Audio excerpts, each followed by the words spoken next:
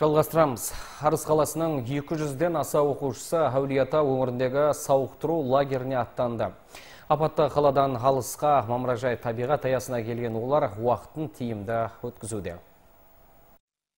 Арыстан келген оқушылар Жуалы, Байзақ, Тұра Рысқұлов және Меркі аудандарында жазғы демалыстарын жалғастыруда. Арысқа көмек азаматтық міндетке айналды. Ел жұмылды, үкімет назар аударды. Балалар да назардан тыс қалған жоқ. Әулиета өңіріне қазірдің өзінде екінші ауысыммен балалар келуде. Барлық жағдайды мен қамтып отырмыз. Жаңадан биыл салынған асханамыз бар. Төрт мезгіл тамағын беріп отырмыз.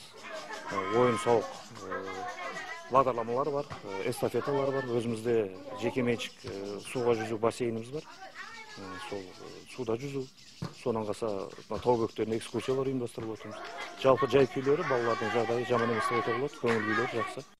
Жас жеткіншектерге Жамбылдың бірнеше аудандарынан таңдаулы демалыс орындары бөлінген. Бүгінде болашақ лагерінде 107, Таусамалында 42, Әлия Молдағұлова лагерінде 16, кооператор мен Байсеректе 27 бала бар. Меркі шатқалында орналасқан жұлдыз жазғы сауықтыру орталығында 31 бала демалуда.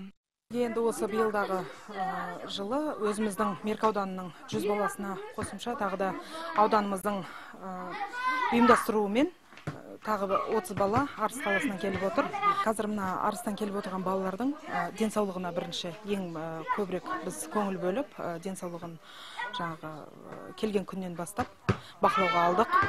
Және неше түрлі шаралар ол біздің өзіміздің жоспарымыздағы және күн тәртібіміздегі бар Демалуға келгендер қатарында Сымбат пен Заңғар есімді балалар бар. Жаңа достармен бірге жайлы табиғаттағы жазғы демалыс олардың да көңілінен шығуда.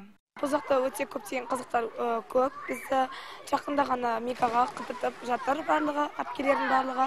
Балалардың барлығы ойлар бөлініп, кішкене болсын, сол жарысты ұмытып жатыр. Ол жаққа келген тәрбиешілерге рахмет көптеген көптеген жағдайларын жасап, бәрін істеп жатыр.